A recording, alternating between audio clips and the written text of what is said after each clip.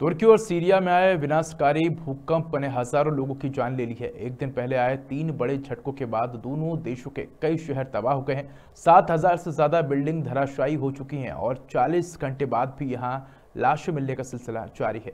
इस बीच भारत समेत दुनिया भर के देशों ने तुर्की के लिए मदद के लिए हाथ आगे बढ़ा है। आज सुबह करीब तीन बजे उत्तर प्रदेश के गाजियाबाद से एनडीआरएफ की एक टीम भारतीय वायुसेना के विशेष विमान से तुर्की के लिए रवाना हुई। ये टीम तुर्की में राहत और बचाव का कार्य करेगी। देखिए इसी पर हमारी खास रिपोर्ट। संकटग्रस्त तुर्की का सहारा बना भारत। रेस्क्यू ऑपरेशन के लिए भेजी एनडीआरएफ की टीम। विशेष विमान से 100 सदस्यीय टीम तुर्की के लिए रवाना। डॉक्टर और पैरामेडिकल स्टाफ करेगा पीड़ित तुर्की वासियों का इलाज। भारत हमेशा करता रहा है पीड़ित मुल्कों की मदद। तुर्की में भीषण भूकंप के कारण मलबे में फंसे लोगों को बचाने के लिए गाजियाबाद के एनडीआरएफ की आठवीं बटालियन की टीम तुर्की के लिए रवाना हो गई है। हिडन एयरपोर्ट से मंगलवार तड़के तीन बजे विशेष विमान से 100 सदस्यों की टीम तुर्की के अदाना एयरपोर्ट के लिए रवाना हुई है। इस टीम में आठवीं बटालियन की इक्यावन और कोलकाता की दूसरी बटालियन के उनचास जवान शामिल हैं। आठवीं बटालियन की पाँच महिला रेस्क्यूअर्स भी इस टीम का हिस्सा है। जो पहली बार अंतर्राष्ट्रीय ऑपरेशन के लिए भेजी गई हैं।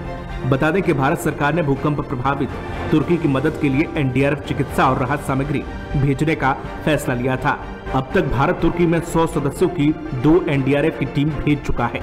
एनडीआरएफ की टीम के साथ प्रशिक्षित डॉग स्क्वाड आवश्यक आधुनिक उपकरण, प्रभावित इलाके में तलाशी और बचाव अभियान के अन्य सामान और डॉक्टर्स के साथ पैरामेडिकल स्टाफ और दवा भेजी गई है।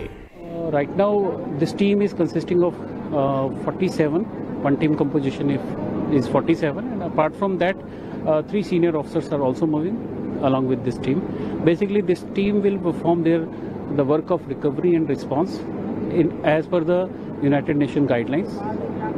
Uh, in total how many teams of uh, ndrf is going to uh, turkey sir uh, right now, we have received the orders for two teams. First team is about to move very soon, and second team will be leaving in the morning.